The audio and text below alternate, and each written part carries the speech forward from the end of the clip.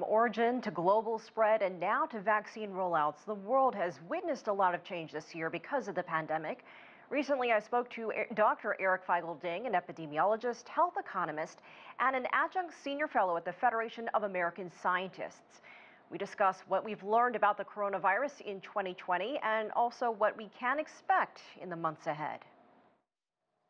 2020 has been a chaotic absolutely apocalyptic year and looking backwards of so many things that could have been prevented, yet were not done.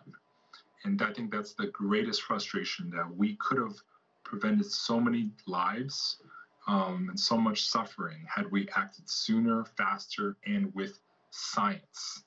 But we had very little to any of that. And here we are sitting in one of the deadliest pandemics and are facing a really bad surge as we enter Christmas time.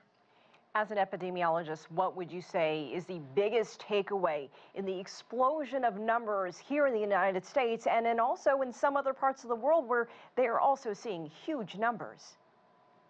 I think it's a combination of people being complacent, uh, people not adhering to public health basic guidelines around masks, which we've been advocating for months, and also that we didn't recognize airborne transmission early enough. This virus is a respiratory virus.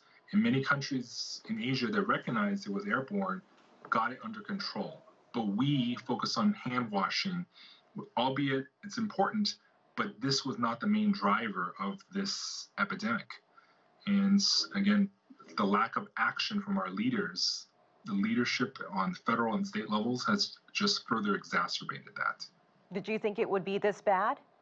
If we had done what other countries had done, such as, you know, Australia, New Zealand, I think we would have just a very regional, small epidemic had we had contained it. Yet right now we have a raging wildfire.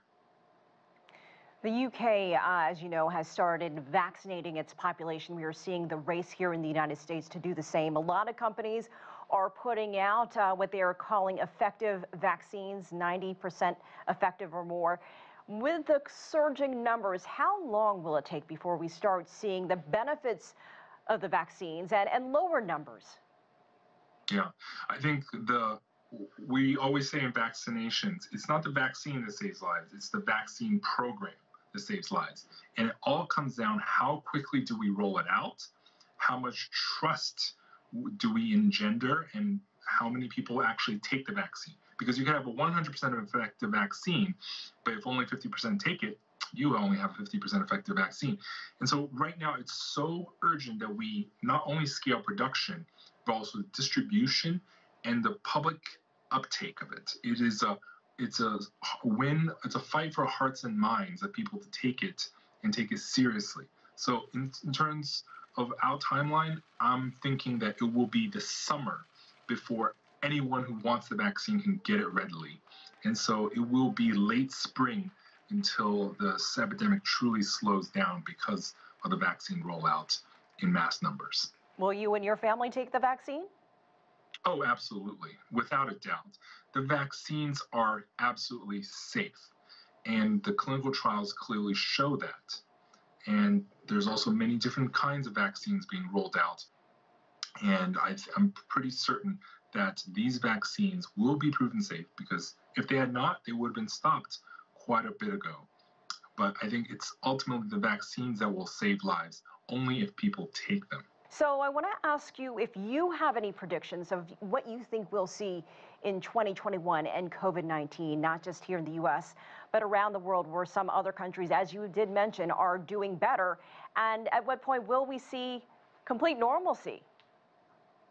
Yeah, I think complete normalcy won't come until summertime because right now in the wintertime, oftentimes people are gathered indoors for the holidays and it's having very difficulty stopping people. And this indoor transmission with poor ventilation, I think is actually one of the main drivers during the wintertime. As the spring gets warmer, people can go out more. I think transmission will also uh, slow down.